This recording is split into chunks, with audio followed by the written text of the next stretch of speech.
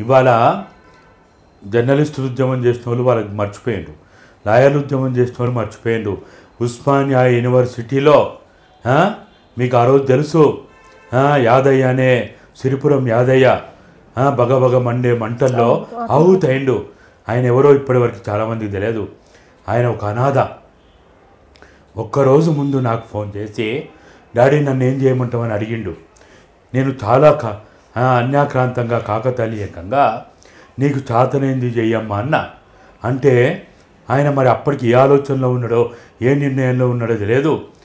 నీకు చాతనైంది చేయమంటే ఆయన మరి ఆ ఆలోచనకి నిర్ణయానికి వచ్చి నేను తెల్లవారి రెండు రెండున్నర గంటల ప్రాంతంలో మధ్యాహ్నం సమయంలో బగబగ మండే మంటల్లో ఆహుతవుతున్నటువంటి సిరిపురం యాదయ్య జై తెలంగాణ అనుకుంటూ వీరమరణం చెందినటువంటి ఉస్మానియా యూనివర్సిటీ ఉద్యమానికి ఊపిరి పోచింది ప్రాణం పోచింది.